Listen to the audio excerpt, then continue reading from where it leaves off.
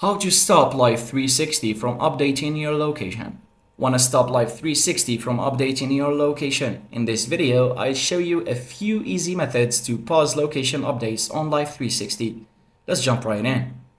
The quickest way to stop Life 360 from updating your location is by turning on airplane mode. This cuts off all GPS, Wi-Fi, and data services. So Life 360 won't be able to track you. Simply swipe down on your phone to access the control center and tap the airplane icon. Keep in mind that while airplane mode is on, it also disables calls and messages until you turn it back off.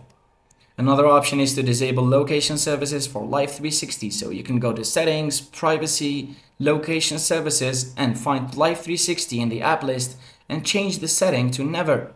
This stops the app from updating your location but allows other apps to continue working normally. Remember to switch it back on when you're ready to share your location again.